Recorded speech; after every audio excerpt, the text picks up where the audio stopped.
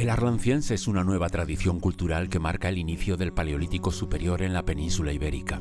Se ha definido a partir de las herramientas recuperadas en el nivel 1 del yacimiento de Cueva Millán, ubicado en el Valle de la Arlanza, datado entre 45.000 y 43.000 años.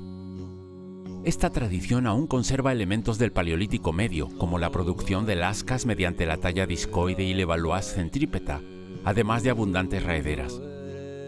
Sin embargo, el arlanciense incorpora innovaciones propias del Paleolítico Superior, como la adopción de la tecnología Initial Upper Paleolithic, caracterizada por una reducción del núcleo a partir de crestas o aristas naturales, y una superficie de explotación plana o semienvolventes destinada a la producción de láminas y puntas.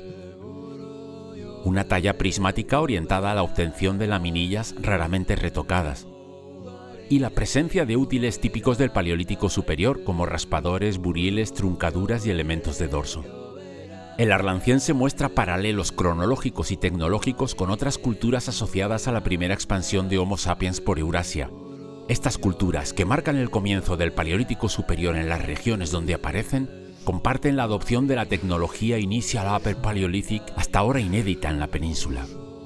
De este modo, el origen del arlanciense podría estar vinculado a un proceso migratorio, quizás acompañado de un intercambio cultural entre distintas poblaciones, ya que en ese momento en Europa coexistían neandertales y Homo sapiens. La ausencia de fósiles humanos impide determinar qué especie es responsable del arlanciense. Sin embargo, se sabe que estos grupos coexistieron con neandertales cercanos que mantenían tradiciones del Paleolítico Medio.